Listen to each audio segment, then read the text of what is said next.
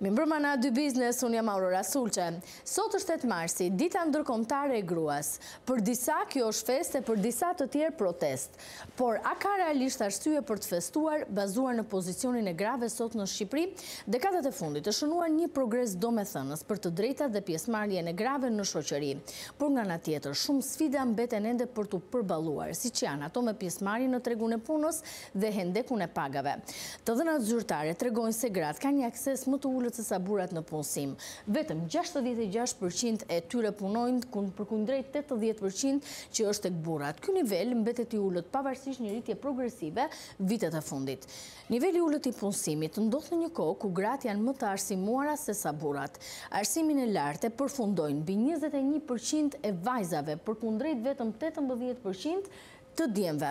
Vajzat rezultojnë në dominancë edhe në arsimin fillor dhe atë tetë dhe nëntë vjeçar me mbi pesëdhjetë e një për qind përkundrejt dyzet e një për qind tek djemtë. Por sa paguhen sot në Shqipëri gratë dhe burrat për të njëjtën punë që bëjnë?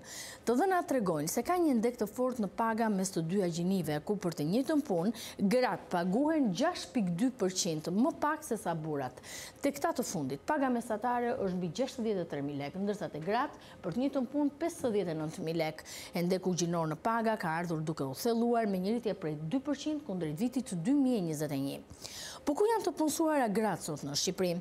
Mbi dyzet për qind e tyre konsiderohen të punësuara ose të vetëpunësuara në sektorin e bujqësisë, pasuar me njëzet e dy për qind në tregti, transport dhe hoteleri, njëzet e një për qind në administrim, në administrimin publik dhe shërbime të tjera, katërmbëdhjetë për qind në prodhim dhe më pak pastaj në sektorë si ndërtimi apo industria.